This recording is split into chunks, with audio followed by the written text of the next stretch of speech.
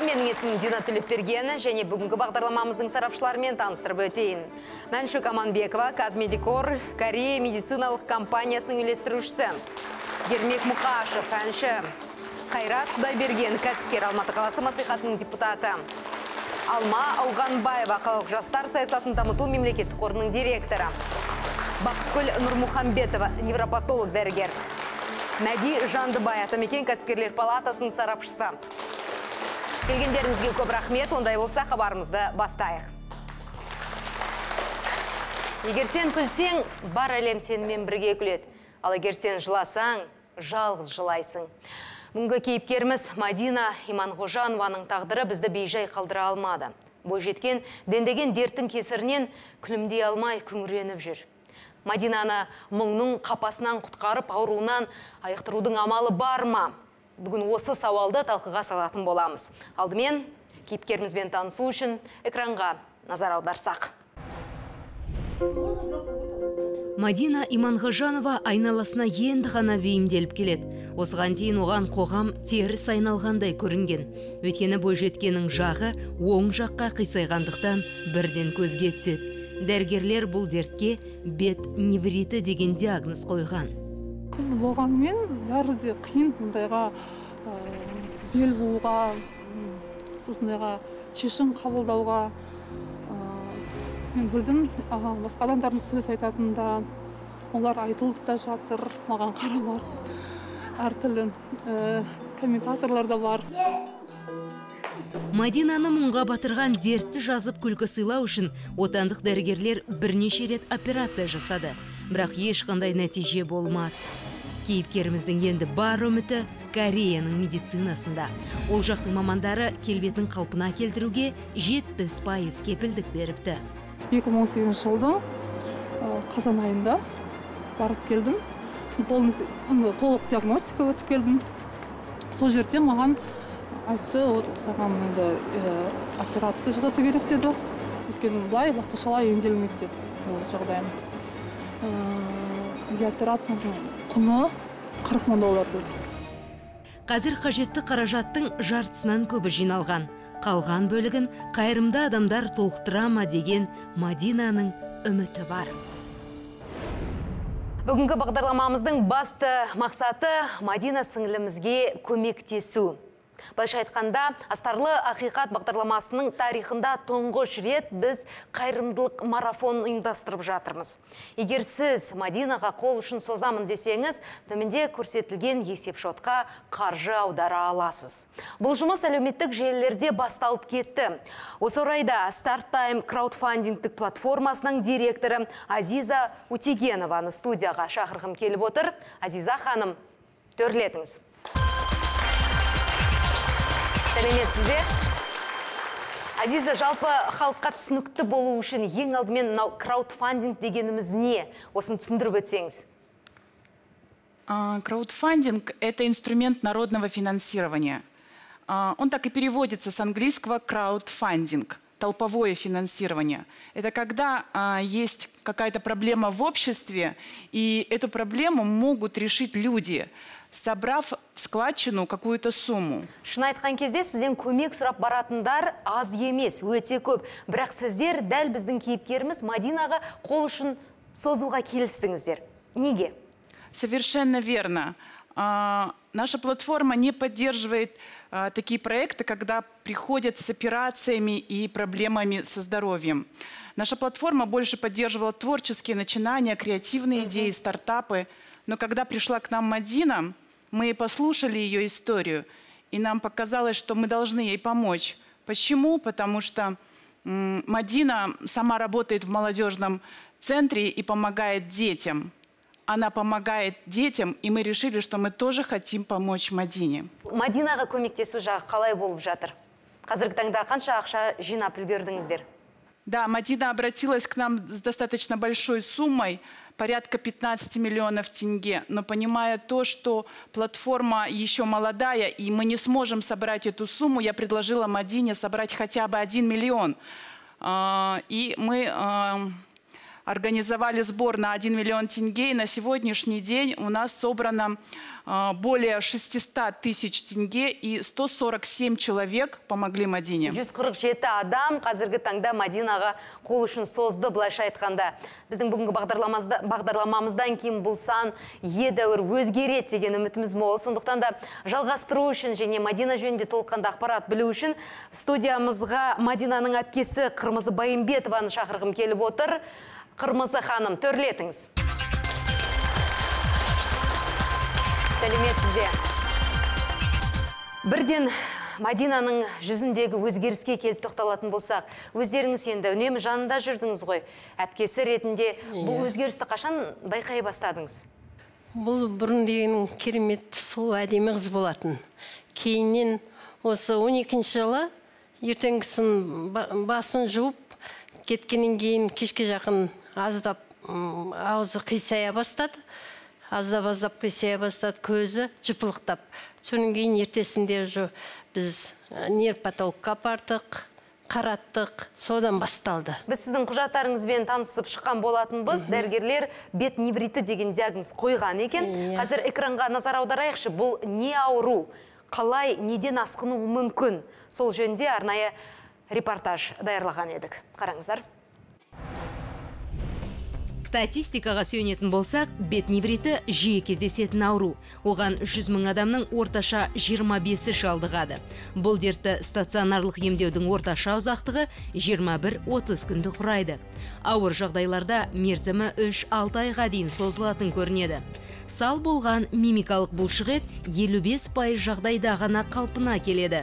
Ал науқастардың 5 пайызында ешқандай ем дауа болмайды. Мамандар бет невритін емдеудің жалғыз жолы бар дейді. Ол аяқтағы сіңірді алып бетке салу. Біздің студиямызға невропатолог мамандар кел, маман келіп отыр. Сізден сұрағым келіп тұр. Бұл бет невритіне адамдар неден қалай ұшырайды?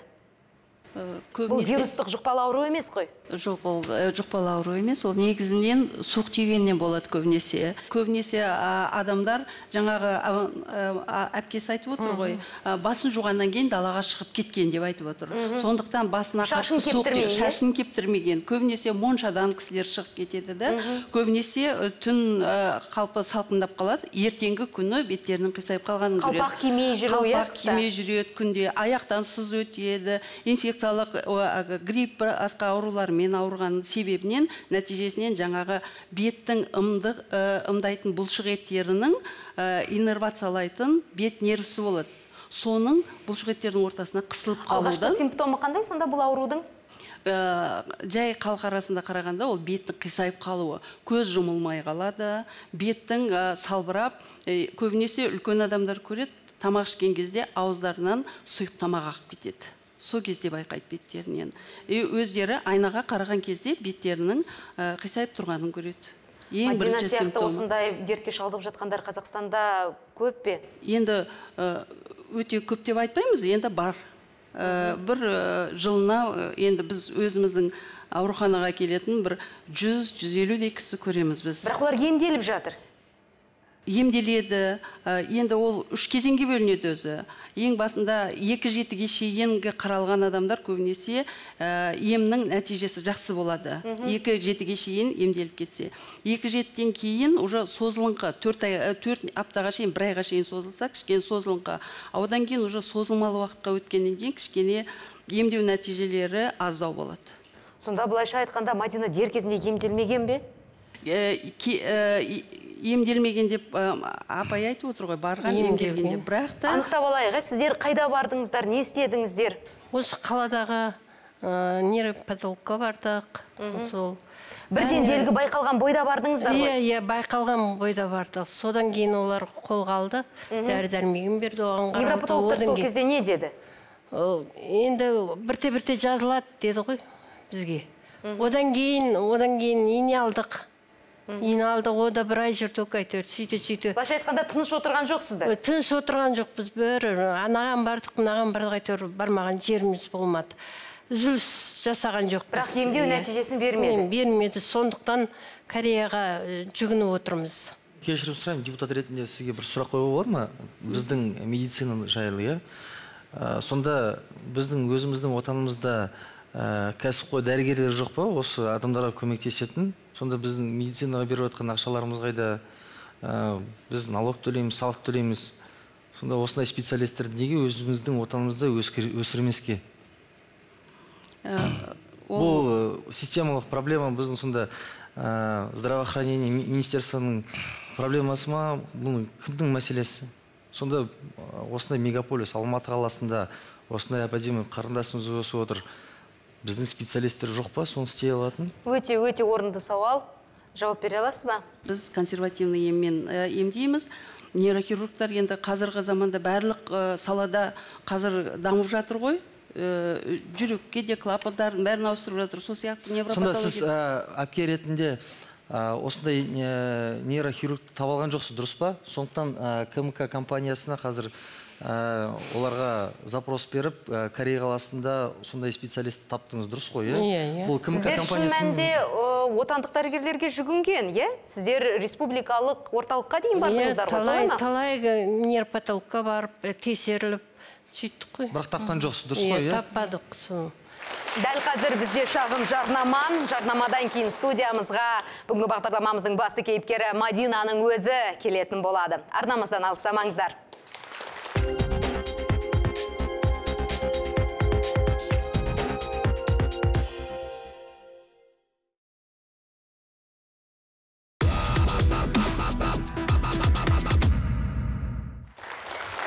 Бағдарламамыз қыстың ызғарынан бет невриті дертіне душар болған Мадина Иманғожановаға арналады. Олай болса студиямызға Мадинаның өзін шақырайық. Сәлеметсіз бе? Мадина, мұнда біраз дау болып жатыр, біз бірақ бәрін басынан бастасақ. Қазір невропатолог маман бұл аурудың белгілерінің қайдан, неден пайда болатындығын айтып жатыр. Ал сенің өміріңде бұл қалай пайда болды? бірден осындай халге жеткен жоқпын ол бірте бірте пайда болды басында маған тәтем айтып кеткенде көзім жыпылықтап тұрған Ол қай жыл болатын? бұл 2012 жыл болған 12 жыл. иә сол кезде енді басында ойладық нервный тик екен енді білмедік не екенін бірақ ойымыздан лицевой неврит бет невриті деген болған жоқ нейропатологқа бардық Тағы да артқа шегінсек, мынау көз жыпылықтау дедің. Оған бір себепке бір оған бір оқиға болды ме? Қазір ғана маман айтып шықты. Шашын жуып қыздар шыға салады. Моншадан шыға салады деген сияқты. Болды ма жоқ деп айтпаймын. Иә болатын жұмысқа баратын кезде то шашын жуып кетіріп таңертең укладканы жасап кетіп қалатын. Ондай жағдайларым болды. Қыстың күні. жоқ қыстың күні емес бұл обычно айтады көктемде или күзде болатын жағдай екен. Бірақ ауа райы әлі суық болатын иә салқын осы қазіргідей мысалы жағдай кезде ғой. Енді жұмысқа асыққаннан кейін басыңды жудың да тез жүгіріп шықтың. иә дәл солай. Содан кейін бардық невропатолог маған дәрі дәрмегін жазып берді и он күн э, ине қабылдауды маған кеңес берді. Мен дәрі дәрмектің бәрін алдым. Одан кейін ә, осы өзіміздің қытай медицинасына жүгінген болатын. Он күн емес мен шын айтамын бір үш төрт ай барған шығармын ол кісілерге. Өйткені басында әні жазылып қалар не жазылып қалар деп бірақ одан керісінше маған бетім одан ары қисая бастады Әуелде сонда невропатологқа барған кезде қандай саған диагноз қойды? Бұл сол бет невриті деп Бірден бет Иә. невриті деді, иә? Жазылып кетесің деді бірақ, иә? Уайымдама иә деді. бәрі жазып вообще ойладым бір екі айда бір ары кетсе екі ай деп айтқан Ол жерде ол кезде тек қана көз жыпылықтау болып тұрған. иә иә одан кейін сөйлеген кезде байқала бастады күлгенде тіптен байқалды сөйтіп сөйтіп бетім ақырындап қисайып кетті содан кейін мен жұмыс істеп жүрген бәрін тастап қойып он екінші өзіміздің қалалық ауруханаға бардым. Ол жерде де осы ине салды мануальный терапиясы болды короче комплексно қабылдадық. Соның өзі маған көмектескен жоқ. Тоже біраз уақыт бардым көмек болмағаннан кейін енді келесі жерден іздей бастадым. Өстіп өстіп менен мінекей жеті жыл өтті. Алты жыл жоқ алты жыл өткеннен кейін мен ойладым енді тағы да қытайға мүмкін барып көрейін ба инеге деп. Сол кезде бір кісі айтты саған енді ине көмектеспейді деді. Сен лучше уже операцияны қарастырып көр ота жасауды деді. Біздің өзімізден қара қазақстаннан болмаса уже шет мемлекетке жүгінсең болады деді. Да. мен өзіміздің астана қаласында бізде орталық нейрохирургиялық ә, центр бар соған барған. Иә қазір жылы қайрат мырза сауал Иә. қойып жатыр. Біздің отандық мамандар көмектесе алмай ма деп? Сәуір сәуір айында барған. Сөйтіп барып едім олар айтты қарады нервті тексерді. Сексен проценті менің нервім атрофирован жұмыс істемейді. Сексен пайызы? Иә ол кезде сексен пайыз болған. Содан кейін айтты енді кеш деп сен келгенің қазір алты жыл кеш деді екі жылдың мүмкін көлемінде болғанда біз сізге көмектесер едік деді. Соны бір екі ай емделгеннен кейін ары қарай эффект әлгі, ә, нәтиже болмағаннан кейін ары қарай уже талпыну керек еді. А бұл кісіні енді біраз ұстап қалғанда кетеді деп. Кейде болады жеті айға шейін поликли- ә, амбулаторный мынандай неде ем алады. Консервативный ем алады түсінікті бірақ мадина сен ешкімді кінәлап тұрған жоқсың иә шын айтқан кезде? Жоқ ешкімді кінәлап тұрған жоқпын. Өйткені білмеймін енді абаң айтқан операция ол соңғы инстанция деді. Операция ол соңғы жаққа қой деді да. Бірінші бүкіл қандай ем бар соны қолданып көр деді мен даже диспортқа дейін салдым. Диспорт деген ана бетті қатырып қояды чтобы инерция былай қарай кету үшін бәрін көріп шықтық негізінде. Мен де ата анам да позитивті адамсыз сіз мадина иә. Ә, менің ойымша осындай ә, қиын жағдайларда әрине мамандар бар. Мен оған сенем жақсы мамандардың ә, деңгейі жақсы мамандар бар. Бірақ та кейбір кезде енді көптеген адамдар болсаң енді қалталы адамға ол мамандар ә, қол жетімді болады да ал осындай кісілерге ә, очередь жетпейді ма? Неге осындай ә, қиын ә, мәселелерде консилиумды жинап осындай адамдарды Иә. соларға жібермеске? Неге оны ойламайды? Мен түсінбеймін шыны керек.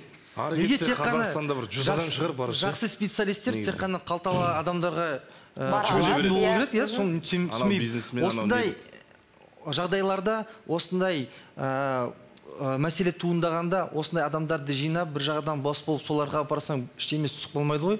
бір жағынан жергілікті жерлерге осындай салғырттық иә? Екінші жағынан енді білмеймін.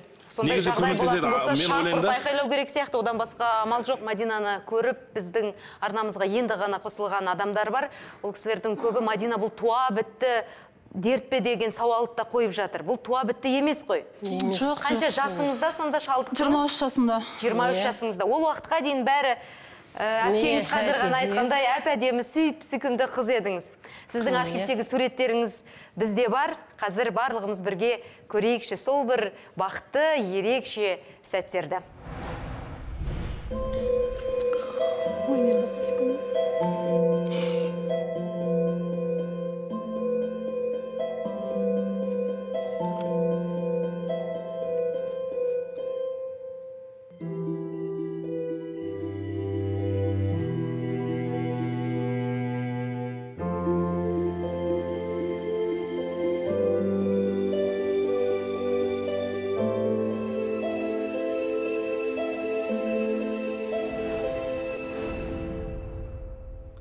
апат айтып келмейді дейді. Мадина өзің балалық шағыңда кім болсам деп армандадың? Мен балалық шағымда математикаға жақсы болатын сол математикаға қатысты бір жаққа барамын деп ойлайтынмын өзімде. Одан кейін қай жоғарғы оқу орнына түстің? Мен абай атындағы қазақ ұлттық педагогика университетін тамамдаған бухгалтер э, мамандығын. Қазір өзің негізгі жұмысың сол қаржымен байланысты ма? А, жоқ мүлдем жоқ. Денсаулық енді ештеңеден артық болмайды ғой денсаулығыма әжер уақыт кетірдім. Содан кейін көріп жатырмын да уақыт кетіп жатыр енді жаспыз. Что-то адам бірнәрсе айналысу керек. Содан кейін сол кезде жастар өзіміздің алматы қаласының жастар саясаты мемлекеттік дамыту мемлекеттік қорына келген содан бері міне уже алты жылдай болып қалды сол жердемін біз сенің жұмысыңа барған болатынбыз сенің немен айналысқаныңды көрдік. Енді ә, сол кадрларды біздің көрермендерімізге де көрсетсек қабыл алыңыздар. Міне сіздер көріп отырған бұл біздің бір аула клубтарымыздың бірі болып табылады. Ол елназы деген біздің осындай орталығымыз. Бұл жерде балалар ә, нашар еститін балалармен жұмыс істейміз. Көрсеңіздер бұл жерде жұмыс істеудің неше түрлі тәсілі бар. Олар сурет салу қолөнер арқылы және де дыбысты қабылдау арқылы музыка арқылы жүреді. Сол ана көрген балалардың біз жасаған осы жердегі жұмыстары осы орталықта жасалған. Бізде осындай қырық аула клубы бар. Өзіміздің мақсатымыз тек қана бір бір ғана уақытта жұмыс істемей біз бүкіл балалар жастарды қамтуға тырысамыз. Қандай жағдай болсын материалдық жағдай төмен болсын. Сол ну, бірақ негізгі мақсатымыз сол көп балалы балалармен жұмыс жасаймыз. Ыыы неполная семьи дейді ғой сондай. Ну, жағдайы кішкене нашар отбасылармен жұмыс жасау. Біздің студиямызға сіздің бастығыңыз келіп отыр былайша Иә. айтқанда. Қызметкеріңізге қандай сипаттама бересіз? Енді сипаттама болғанда ең жоғарғы деңгейде ә, жаңағы өте жауапкершілігі мол адамгершілігі мол осындай өзіміздің жап жақсы ең сүйкімді өзіміздің сүйікті ә, маманымыз ә, 2012 жылы келген. Бірақ енді біз мадинаның әдемі болып жүрген кезін ә, көрмедік. Ә, бірақ қазірде мадина бізге ең әдемі ең жаңағы өзіміздің жаңағы жақсы көретін әріптесіміз. Өйткені мадинаның іш несі Ішкі жан дүниесі? ішкі жан дүниесі өте кең өзі жаңағы кең пейіл болғанмен кең пейілда жаңағы елдің бәріне көмектескісі келіп тұрады балаларды жанынан артық сүйеді Иә, балалар жұмысын, айтқан иә. кезде балалармен әсіресе осындай ерекше балалармен жұмыс істеу оңай емес. ерекше балалармен Ал балалар қалай қабылдайды Мадинаны? балалар бәрі мадина апай мадина апай мадина апай деп артынан қалып қалмай жүгіріп жаңағы бірге суретке түсіріп бетін сүйіп мойнына салады. Керемет. Иә. Рахмет сізге қолдау білдіріп келгеніңізге. Біз Мадинаның әріптестерімен де сұхбаттасқан болатынбыз. Ендеше қымбатты көрермендер тағы да экранға назар аударуларыңызды сұраймын. Мадина туралы әріптестерінің не деген естіп білейікші. Сырт келбетіне басынан ондай мән берген жоқпыз ерекше. Содан кейін үйреніп кеттік. Бізге кейде мадинада ондай сырт келбетіне ерекшелік бар екені байқалмайды өзімізге. Тек сырттан адамдар алғаш көріп жатқанда байқап жатады. Ал бірнеше рет көргеннен кейін мадинаның ашық жарқын мінезін көргеннен кейін адамдармен қарым қатынасын көргеннен кейін барлық нәрсені байқамай, байқамай яғни ортада барлығы қалып кетеді. Барлығы қарапайым қарым қатынасқа айналып кетеді. Мадина, бұл енді сенің жақындарының, әріптестерінің айтатыны. Әрине, олардың барлығы сені жылы қабылдайды, ішкі жан дүниеңнің сұлу екендігін көріп біліп тұр. Ал қоғам ше, орта ше. Сен де аялдамада тұрасың, автокөлікпен, автобуспен жүресің. Сонда өтіп бара жатқан кезде адамдардың көзқарасы қалай? әрине бізде халық эстетик қой дегенмен бәрі түрі келбетке дегенмен қарайды қарайды оны жасыратын ештеңесі жоқ. Мен бір сенің сұхбатыңды оқып едім көп уақыт бойы жалпы мұны жасыруға тырыстың мен тіпті әлеуметтік желіге шығып көмек сұрайды деген ешқандай ойым болған жоқ дедің. Неге? Неден қорықтың? Қорқыныш көп болды. Басында енді біріншіден ну ойладым это как тоже бір слабость сияқты. Енді білмеймін енді қалай енді адам может жұмыс істеп табу керек екен ол ақшаны. Енді әркім әртүрлі ғой маған жазып жатыр елдер деген. Неғып бүйтпейді неғып жұмыс істемейді неғып сол солай болып қалды просто. Өйткені қырық мың доллар деген мен үшін менің отбасым үшін ол бір бір екі жылда бір жиналатын сумма емес қаражат емес мысалы. Сосын ары ойландым көп ойландым содан кейін осындай ыыы, бел будым осындай шешімге. Мүмкін енді мұндай шанс менде басқа болмайды. Бұндай менде бірінші рет болды маған осындай мен барған кезде маған айтты міне алты ай уақытың бар алты айда сен осы ақшаны жинауға тырыс деді өйткені алты айдан кейін ол осы уақыт аралығында ақша жиналмаса не болады сонда нерв одан ары нерв ары қарай өре береді просто одан да қатты тартылуы мүмкін ғой иә Өзгелерге көмек беріп жүрген Мадинаның өзі бүгінде көмекке мұқтаж. Бұл тақырыпты жарнамадан соң жалғастырамыз. Арнамыздан алыстамаңыз.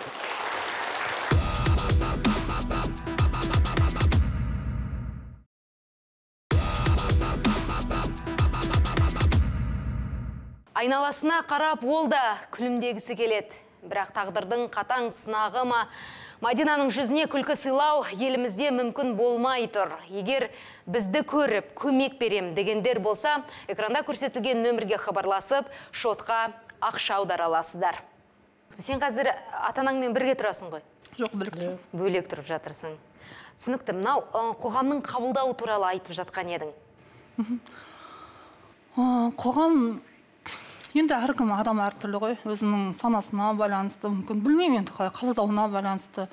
Ыыы кейбіреу енді біртүрлі қарайды. Кейбіреуі байқамағандай жүре береді мысалы.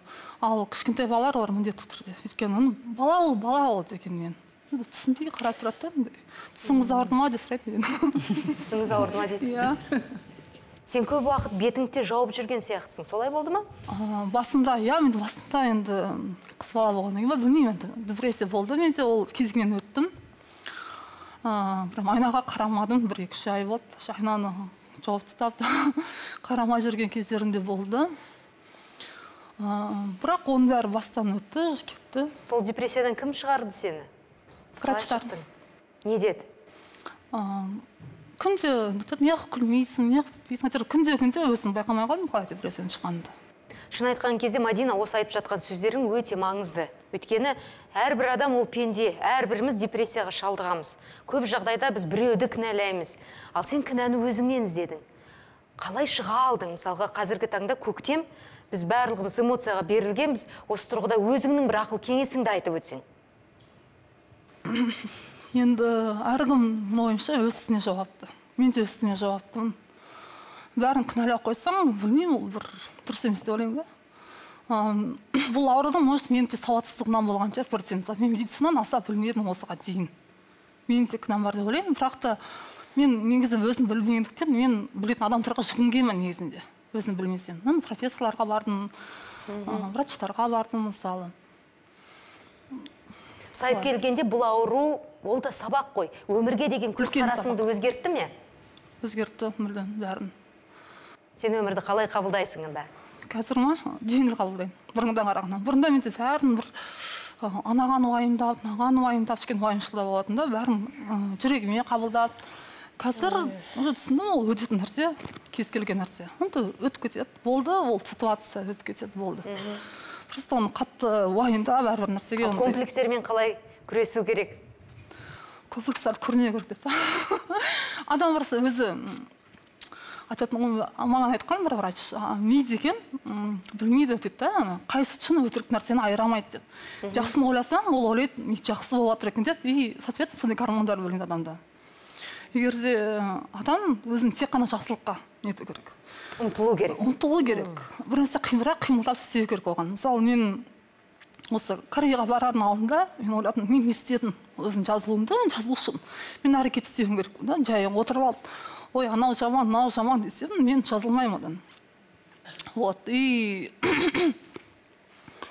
содан кейін ойладым мен не істеймін деп. Вот осындай іс әрекеттердің арқасында мен мүмкін осыған да келіп отырған шығармын.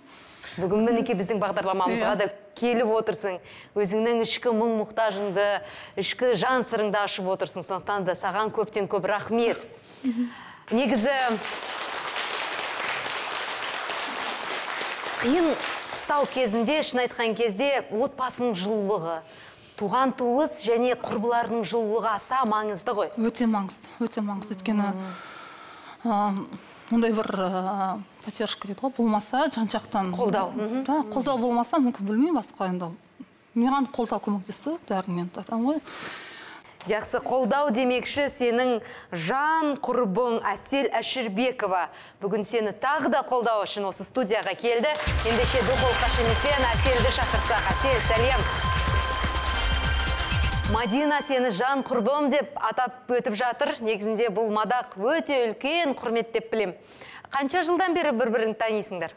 Біз екеуміз 2011 жылдары танысқанбыз. Ол кезде бетінде дерт болмаған бірге жұмыс істедік. Содан кейін бірге дос болып құрбы болып осы уақытқа дейін ә, бірге жүрміз.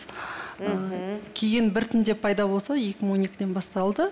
Біртіндеп қисая басталды. Сразу қисайған жоқ біртіндеп келді. Ә, сол. Біз білмейтін құпияларын білесің бе? Ә, құпия болған кезде енді мадинаның жеке өмірі қатты жоқ деп айтса да болады. Өмірін арнаған жұмысына арнаған ол. Өзі қайырымды жан болғандықтан қашан звондасаң демалыста да звондасаң жұмыста сол мерекеде де жұмыста барлық жерде жұмыста жүреді. Өйткені өзіне өз жұмысы ұнайды қайырымдылық жасаған ұнайды. Өз ішкі дүниесі жан дүниесі керемет адам.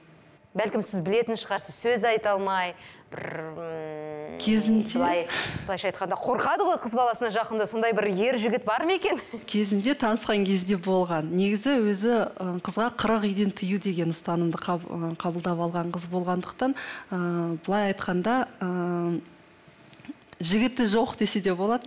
Өйткені көбінесе жігіттердің бәрі түр келбетке қарайды ғой. Содан ы, кішкене жеке өмірі жоқ. Былай айтқанда қайрат мырза шын мәнінде солай ма? Жауап беру өте қиын Ә, әрине ә, адамның өзіне байланысты ғой бірақ та мен өте көп ә, жанұяларды білемін да адамдармен даунмен ауырған адамдармен мысалы аутистермен көп сөйлесем олардың арасында да көптеген жұптар бар жақсы жұптар бар. Одан кейін сол себептен жұп таба алмайды деген сияқты мен әңгімеге сенбеймін олардың арасында болған соң. Бірақ та әрине ә, адамның келбетіне қарай оның мысалы жан тәнін біле алмайсың. Соншалықты мейірімді соншалықты жүрегі үлкен аузын ашса жүрегі көрінетін деген қазақтың инабатты қызы отыр. Алдында менің ойымша жігіттер көзін ашу керек. Ал жалпы жігіттердің көзбен сүйеді деген рас па? Рас. Негізі. Шынын айтып отыр ғой. Иә шынын айт негізі рас Э, мен бір э, досым болған. Э, әйелі аварияға түседі да алты ай комада жатады үйленбеген бірақ жігіті да алты ай сол қызды қарады да ана қыз есін жиғаннан кейін үйленіп бірақ енді денесінің бүкіл жері сынып кеткен ғой. Ана өзі қарап гипста сөйтіп сөйтіп қазір аллаға шүкір емделіп жақсы болып бала шағасы бар бір баласы бар. Сол сияқты оған қарамай жақсы көретін адам болатын болса негізі түр белгіге қарамайды ғой. Негізінен әр адамның өзінің құдай қосқан жары болады. Ондай адам сізге де кездеседі әлі сіз емделіп жақсы болып кетесіз деп ойлаймын.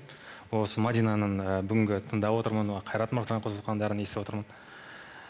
Ә, жігерлігіне осындай алға деп қойған мақсатына жетуге деген ә, өмірге деген қызығушылығына өте бір ә, қызығушылықпен өте бір жақсы ниетпен қарап отырмын. Атамекен кәсіпкерлер палатасы біздің қазіргі ә, жұмыс істеп жатырмыз. Әрине ә, қазақ атамыз айтады қиындыққа түскен жағдайда бәріміз бірігіп көмектесуіміз керек. Осы мақсатта негізінен осы бүгінгі келу мақсатым негізгі ә, біз ә, жаңадан жоба бастап жатырмыз. Менің атамекенім деген қайырымдылық жобасы. Ә, ол жерде біздің кәсіпкерлеріміздің көбісі ә, қалай көмек көрсету керектігін кімге көмек керектігін кімнің мұқтаж екендігін біле бермейді. Иә. көп жағдайда көп кәсіпкерлер оны білмейді. Атамекенім ә, атамекенім точка кз деген сайт бойынша негізінен тіркелуге болады. Ол жерде көмек көрсетемін деген адамдар бар болса олар өздерінің ә, не, не- қандай көмек көрсете алатындығын жазса болады. Одан кейін екінші жақ ол ә, көмекке мұқтаж адамдар. Табу біз өзіміздің міндетіміз. Енді біздің жан айқайымызды біздің бағдарламамыздың мақсатын өзге кәсіпкерлерге бір жеткізу аматын аманатын өзіңізге жүктей аласыз ба? Әлде бәлкім Әрбір өзіңіз бастап бересіз бе осы бір әрбір қазағым жалғызым. Жұмыла көтерген жүк жеңіл болады. Ә, осындай ә, иманы бар ә, қайырымдылыққа жақын осындай адамдарға көмектеспесек қалай болады? Осындай краудфандингтан жинап алады жүз қырық жеті қарапайым адам алты жүз мыңнан адам алты жүз мың теңгеден астам қаражат жинап жатыр. Ә, мен бұның алдында болуға әбден дайынмын. Өзімнің компаниямнан ә, кутриф worldwide компаниясынан депутат ретінде жай қарапайым адам ретінде сізге бір миллион теңге көмек ретінде ә, өз счетымнан ақша бөлемін рахмет. Себебі менің ойымша осындай адамдарға көмек бермесек кімге көмек береміз? Ә, ол соншалықты позитивті адамда ә, өзінің позитивтік энергиясын бүлдіршіндерге ә, құлағына зақым келген бүлдіршіндерге көмек беріп жатыр нағыз мотивацияның ә, өзегі осы қыз деп ойлаймын мен мадина. Рахмет рахмет аға. ұлыңызды мадина қалай? Информацияны қабылдап отырмын әлі рахмет көп көп мен рахмет. әрине әлі кішкене қобалжудамын үлкен көп көп рахмет сізге осындай ниетіңізге жомарттығыңызға. Ем болсын. Мадина ең бастысы ә, зақым келген осындай жағдайға келгенің сол кореяға барып ол жерде емделсең алла тағаладан сұраған бір осы бір батам осы болатын шығар. Ал өзімнің кәсіпкерлер ә, достарыма кәсіпкерлер коллегаларымызға әріптестерімізге айтатын осындай жағдайға ә, шалдыққан қарындасымызға көмек беріп бір жағадан бас болайық ағайын. Қайрат мырзаның құрметіне бір дұқыл қошемет көрсетсек. Ағайын өйткені шын мәнінде біз ә, біршама адамдарға хабарласқан болатынбыз. Көп адамнан көмек сұрадық. Бірақ солардың ішінен бүгін студияға келіп өзінің уәдесін беріп шын мәнінде іс қимыл әрекетке көшкен жалғыз жан ол қайрат мырза сөзсіз. Рахмет сізге. Жеке астарлы асхат бағдарламасының атынан және өзімнің атынан алғысымды білдіремін. А, шын мәнінде адамның өзі жақсы болса жақсылар соған үйір болады дейді. Мадина ә, сізді қолдап біздің әншілеріміз де жұлдыздарымыз да бір іс шара өткізген екен. Иә үлкен біз ә, қайырымдылық концерт өткіздік. Мүмкін біздің ондай болса осы концерт жөнінде қазір толығырақ бізге ақпаратты берерсіз. Бірақ сол концерттің қалай өткенін кімнің өнер көрсеткенін қазір барлығымыз бірге экраннан бірге көрейік.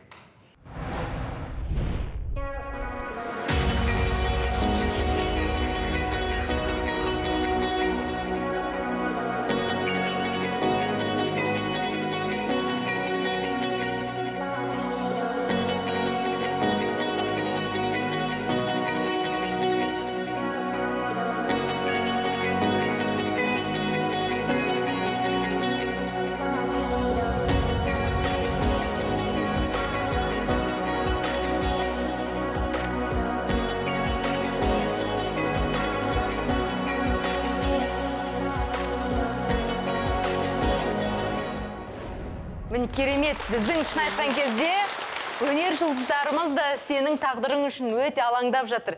Ермек аға сіз өзіңіз осы істің басында жүрдіңіз ғой. Иә. кім кімдер келді? Барлығының атын атап өтейікші. Негізі маған кенжебек жанәбілов звондады. Музарт тобының әншісі. Сол айтты осылай осылай ә, мадина қарындасымызға осындай осындай көмек керек болып жатыр екен деп. Енді шын айтсақ біз енді ә, аптада жеті күн болса соның үш күнінде осындай қайырымдылық концерттеріміз шын айтсақ енді. Бірақ енді ә, бұл концертте кім өнер көрсетті сонда? Бағанағы былайша айтқанда істі бастаған кенжебек мырза болып отыр. Қоры бар сол деген. Сол қорымен бірлесіп жігіті өзінің баласы да ә, осындай ауруға шалдыққан жігіт. Әрдайым барлық қайырымдылық концертке барлық қайырымдылық істерге қатысып жүретін ел сүйер жігіт өте сыйлаймын оны кенжебекті. Өзі де осындай мәселемен қалай айтсақ енді түскен соң осындай ә, ауру ауруға баласы ауырған соң әрдайым көмектесіп жүретін жігіт. Оны иә. шапалақтасақ шапалақтақ әрине. Қанша ақша жинай алдыңыздар сонда сайып келген кезде? Мен естігенім бойынша бір миллион алты жүз мың теңгедей. Бір миллион алты жүз мың осы қайырымдылық концертінен жиналды. Бәрекелді. Қанша адам жиналды сонда былайша жеті жүз адамдай ғой жеті жүз жүз адам. адамдай. Қараңыздар өнер жұлдыздары. Одан Иә. бөлек жеті жүз адам былайша айтқанда мадинаны қолдап келді ғой. иә. Әңгімемізді шағын ғана жарнамаға бөлейік. Одан кейін осы тақырыпты жалғастырамыз.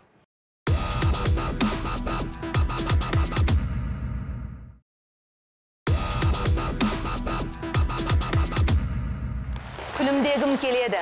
Бүгінгі біздің кейіпкеріміз мадинаның арманы жүзін қайта қалпына келтіріп қуанышқа кенелу жалғыз үміт кореяның мамандарында. Отандық дәрігерлер бет невриті дертінің осы түрін емдеуге қауқарсыз. Сонымен сайып келгенде қазіргі таңда қанша ақша жиналып отыр? Сомасын айту керек. Па жартысынан көбісі жиналды деп Қайрат айта аламыз өйткені қайрат ағамыздың ақшасын кете беруге болады десе жоқ кете беруге әлі бар кішкене ертерек енді қашан аттанбақсың кореяға менің бағана айтып кеткендей бір мерзімім бар. Мерзімім осы келесі айдың басында болып отыр. Демек сәуірдің басында, Сәуірдің басында, иә. сен құдай қаласа жол жүресің. Жол жүру керекпін иә уже приглашение. Кореяда қанша уақыт боласың? Енді менің өзімнің қалпыма келуіме байланысты енді он сегіз жиырма күн. Мүмкін ше басым бірсін қалай? Бір жағынан экспириенс болады ғой көреді ел басқа елде Иә. көреді. Қандай операция болады деп жатыр? Біз бағана бет невриті жөнінде сюжет көрсеткен кезімізде былайша айтқанда аяқтың тамырын алып бетке салады деп жатыр. Аяқтың сіңірін алып. Иә тамыр нені алды нервті алды істедік Эм, үш маман қатысады деді операцияда ол лор. Врач нейрохирург и пластический хирург. Неге пластический хирург өйткені көзім толық қанды жұмылмайды менің толық. Оның бәрін реттеу керек. Ол өйткені денсаулыққа зақым келетін нәрсе. Мен көз жұмылмаған сондай сондай заттармен үш маман қатысады деді. Бұйырса сол енді жетпіс пайыз маған кепілдік беріп отыр. Максимально ең күшті жақсы операция өтті деген кезінде айтты. Қазір жетпіс пайыз кепіл беріп отыр ғой. Иә. қалпыңа келесің Иә, деп. Енді уәдесінде тұрсын деп үміттенейік Аумин. барлығымыз да қолдан келетін шара ол тек қана тілектес болу. Сен туралы ойлану былайша айтқанда сені әдемі кейпіңде елестету. Әм, бұйырса енді қашан қазақстанға ораласың? Қашан біз осы студияда жүздесуіміз мүмкін? Бірден хабарласамын сіздерге. Сол келесі айдың соңында немесе майдың басында максимум ну, деп ойлаймын өзімнің ойымша. Қорқып тұрсың ба әрине екен? бірақ андай бағанағыдай енді осы немізді жібердік сонда маған елдер шашыр еді. Сені аэропорттан күтіп аламыз күлкіңді көру үшін деп жатады маған. Ол кезінде прям прям ондай болса осы бір құраммен қымбатты сарапшылар қымбатты көрермендер барлығымызға қайта жиналып жаңаша мадинаны көруді нәсіп етсін деп тілейік. Иә тұрмыз тағдыр қандай тауқыметті тосса да адамды сүрінген жерінен көтеріп алға жылжытатын бір күш бар ол сенім. Бүгінгі кейіпкеріміз мадинаның бойынан қайсарлық жігерлікті бастысы өмірге деген шексіз сүйіспеншілікті байқадық. Мадинаның күлімдегенін көргісі келіп көмек қолын созып жатқан барша көрермендерге алғысымызды айтамыз. Осы бағдарламамыздың барысында нақты қанша қаражаттың жиналғанын біз ктк телеарнасының жаңалықтарынан айтатын боламыз. Бүгінгі бағдарламамызға мадина жетекшілік ететін аула клубтарының бірі қолдауға келіпті. Ендеше бүлдіршіндеріміздің әнін қабыл алыңыздар. Ал мен сіздермен қоштасамын. Амандықта жүздескенше